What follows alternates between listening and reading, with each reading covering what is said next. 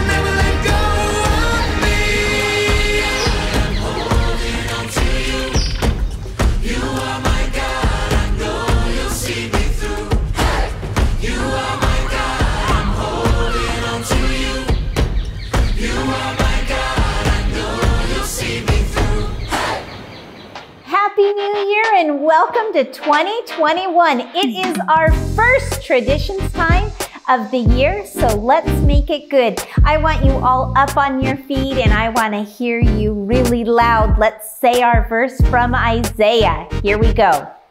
Lord, you are our Father. We are the clay. You are the potter. Your hands made all of us. Isaiah 64 8. So go ahead and keep practicing that. This is the second week. We have one more week to learn this verse. So keep on practicing it. I can't wait to hear it on Sunday. All right, all right, all right. So we are beginning my favorite game show, What is in Your Hand? I am your host, Caden Spillman, and I need a contestant from the audience. Is anyone me, any me, me, anyone Oh, want to join at all? Please, please, please. Pick me. Pick me. Okay, fine. What's your, what's your name? My name's Lori. Okay, welcome to the show, Lori. So, in this game, you first have to blindfold yourself. So, go ahead and put that on. Okay. Why don't you? Thank you very much. Make sure she's not peeking. Keep an eye on her eyes. She's not allowed to see at all. But she can touch it, taste it, listen. She has to figure out what I am handing her. I'm going to give her a small object, and she has to tell what it is, but without looking. Are you ready? I'm ready. I'm ready. Okay, okay, okay. Just making sure. Now, bringing out our first object. Ooh, it's skinny. Mm-hmm. Ooh. Definitely has a scent. Is it that stinky? Uh, oh, doesn't taste good. Let me smell it again. Is is it a crayon? Y- th- there we go. All right, that is one point for her. Good right. job. Now we're gonna bring out our next one. You're ready. Hmm. Hmm. Okay. What do you think of this? Well, it feels like paper. Like A little um, crinkly, right? You can hear Uh it. Uh huh. It's got something in it. Hmm. I don't know. Am I able to taste it? All right, you can taste it. Ugh, it's paper. Yes, it is. Not edible. Um, how about a little bag of beans? I'm afraid not. That is one strike. shoot. All right, you're gonna lose that point. right. That was actually a packet of sugar to put in your coffee. Oh, well, it would have been nice if I opened that and tasted it, huh? Well, we also didn't want to spill it all over the over the stage, okay. so I'm glad you didn't. Thanks, thanks a lot. Uh, so, our final one. Oh, it feels like plastic. Oh, I'm detecting a bill, but a really huge head. I think, is this a rubber ducky? But the head's not right. Well, that is correct. It is a rubber ducky, but if you would like to take a look at it, Oh, it's Christmas ducky. it's a Christmas ducky. How sweet. I have a lot of leftover Christmas decorations from last season. Nice. Oh, you would have also gotten bonus points if you could have guessed what color the crayon was, Ah, but you didn't. it was red. I'm afraid not. Well, thank you for playing our game. So, that game, totally ridiculous, super fun to play with anyone. But the reason why we brought it up today is because we were talking about hey, what are the things that God puts in our hands, right? So, sometimes those things are He gives to us uh, at our birth or that we learn them, like our skills and talents, our gifts, right? And we'll probably talk about some of those later on. I have a couple Yeah. gifts. I know you have a lot of gifts, Yes. right? Everybody does. Everyone does. Yes. And that's the spectacular thing, right? And learning how to use those to fulfill the dreams that we have in our heart, right? And being able to worship God through those gifts, right? One of my favorite things is I love drawing and painting, right? And we get to enjoy that like almost every week. We'll be able to enjoy that in a couple minutes, Yes. right? And I get to help worship God as well as help like teach others through the through that skill, Yeah. right? And that's just something that God just placed in my hands, and I don't want to squander it. I don't want to just, you know, Waste it. waste it, right? I want to take advantage of it. So, How about that? We'll be talking about our man Moses. So he's a pretty famous guy in the Bible. Everyone knows Moses. Everybody knows Moses. And he actually has a couple situations where God puts some very strange things in his hands. Mm-hmm. Or at one point, God changes his hand, makes it really sickly and disease. It's kind of gross. But in the other hand, he gives him a rod and it seems almost magical. It turns into Yeah. a snake. It's miraculous, right? So those are some of the ways that God gave Moses uh, some gifts and put things in his hands. so are you going to use your talent with your hands and draw a picture? Of Moses's hands. Nice. There we go. I go. can't wait to see it. Let's go to it. One day, Moses was out taking care of the sheep and making sure they were all right. He stumbled across a sight he'd never seen before a bush that was on fire, but it didn't burn up. God called out to Moses and said to him, Moses, I've seen the trouble my people are in. They want to be free from being slaves in Egypt. It's not right. I want to free them and bring them into the promised land.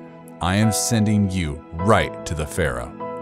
Moses said, But I've left Egypt, and now you want me to go back? I can't do that. No one will listen to me. I will be with you, said God. What is that in your hand, Moses? A staff, Moses replied. Throw it on the ground, said God. Moses threw it on the ground, and as it hit the ground, it became a snake. Now pick it up by its tail. Moses picked it up, and it turned back into a staff right there in his hand.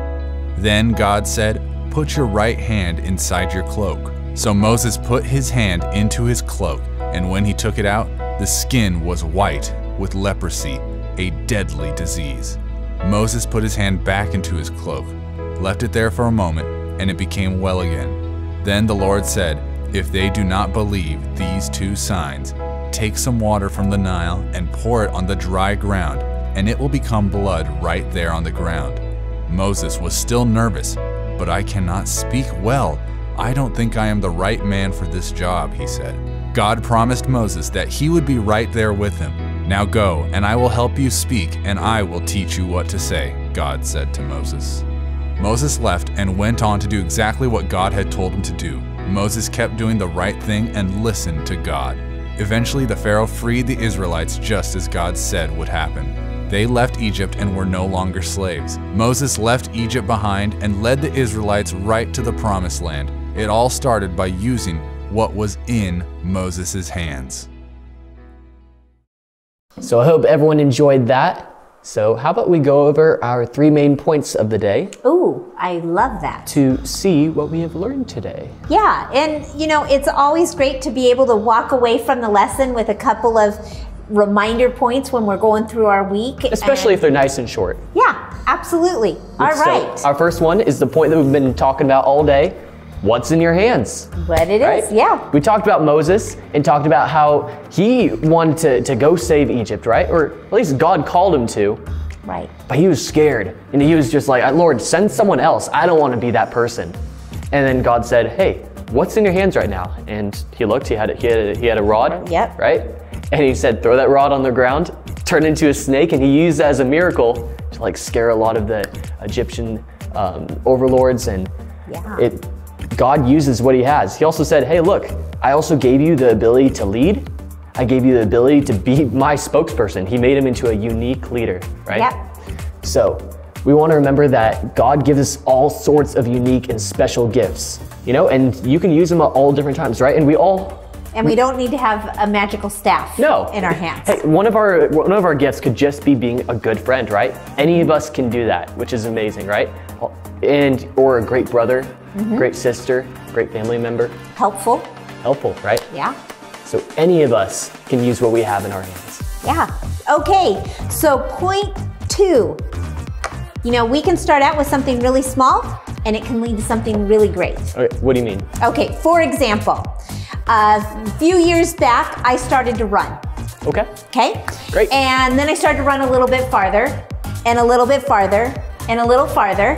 And eventually, I was in a race and ran a half marathon. Whoa. 13.2 miles. Go, Lori. Right? Exactly. So it started out where I could barely run a mile, but then at the end, I could run 13.2 miles. But you wouldn't have been able to run 13 miles if you didn't start small and work your way up. Exactly. And it took practice and training and work and discipline Mm-hmm. in order to achieve that. And so God doesn't always just work with just the big miracle, boom, right there, right? Right. He asks us to be disciplined and to work towards things and practice things like reading our Bibles and praying and um, following His word. And those things can take practice, which can lead to great things. Right. So, That leads to our final point. That's right. Number three, get to it. You can start using these gifts right now. You can start using these opportunities this today, right? Yep. So uh, there's a verse in Colossians talks about that we should do things for the Lord and not for others. And what that's talking about is that whenever we are going out to serve other people, we're trying to do it because we should know God gave us those gifts, right? Or these opportunities and we are worshiping by giving back, right? By serving others. And there's three great places you guys can start with that right now, right? There's schools or your classmates that you know. You can do that in your family, right? You can, uh, you can be a great brother or sister, cousin, daughter, son, and with your friends, right? Everyone needs some good friends, especially right now. And it's awesome when you can come alongside them and support them. So, those are all great opportunities to start using what God has given us. so for the first week in 2020, get to it. Find some way that you can bless somebody with the talents that you've been given. Sounds great. Hey, we'll see you all next week.